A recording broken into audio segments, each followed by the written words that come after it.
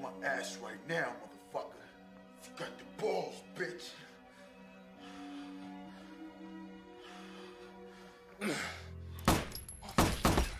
I read this book about World War II one time, and one of the soldiers said that every time he killed someone, he saw the face of the first man he murdered.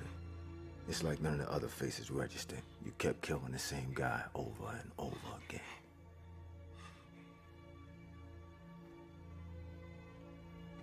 Lathan was the first cat I ever killed. The soldier was right. I killed other dudes. But to this day, I can only see Lathan's face. Knowing, Come on, Trace. Let's go, man. knowing he was gonna die. Come on, man. Let's go. In less than a second, what little bit of childhood we had left was gone. I had made decisions about my life based on my friendships with my boys, but until that moment, I could always walk away. Now, there was no walking away. I was no longer a kid. Now I was a gangster. We all were. And that's the way we wanted it. Weed is a pretty lightweight drug, even back then. In that game, you usually ain't got to worry about no one trying to murder you.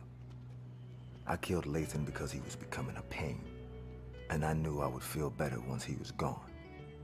Now, everyone had no choice but to take us seriously.